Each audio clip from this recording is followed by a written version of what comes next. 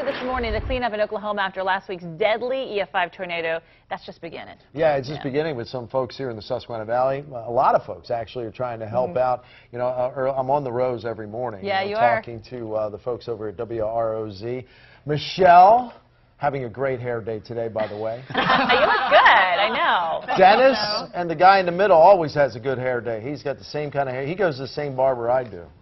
Brian. Wait till the Brian. humidity kicks up today, Joe. Then look at her hair. He's got the hat on for a reason. Yeah. Hey, you guys, uh, you guys just got this thing. Pardon the weather pun, but it, it kind of snowballed, didn't it? This whole uh, this whole operation. Yeah, it really did. Uh, last week, uh, we were all sitting around, we're actually right here in the studio. We had the big boss in here, Billy, Billy Baldwin, and we're like, what can, what else can we do besides online donations? Uh, and I just kind of randomly said, hey, give me the keys to the Rose van. Let's pack it up. I'll drive down there. And uh, as you said, Joe, not to use a, a weather term again, it snowballed. Great. I mean, people stepping up to help you guys. Now, Michelle, how does this work? What do we need to know to help them?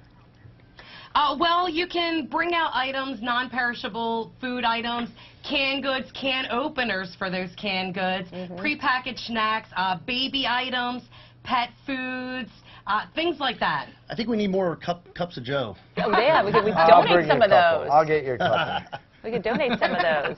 And now, Dennis, this is all going to take place Sunday, right? From 9 to 9 over there at Stauffers at Kissel Hill?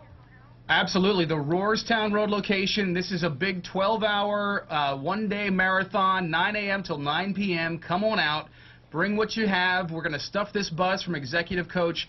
And we even have some tractor-trailer companies getting involved if by chance we do fill this bus. Ah, and, and by all accounts, I'm planning on doing this. I, I Right. want to I want to make this thing fill, fill full. Um, we will have tractor trailers on standby as well to uh, fill as many as we can.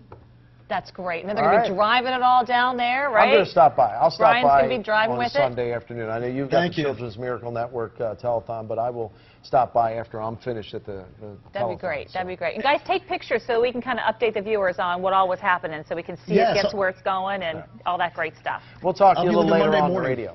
All right. Hey, thanks, guys. Good seeing good. you. Thanks for joining Joe, us this morning.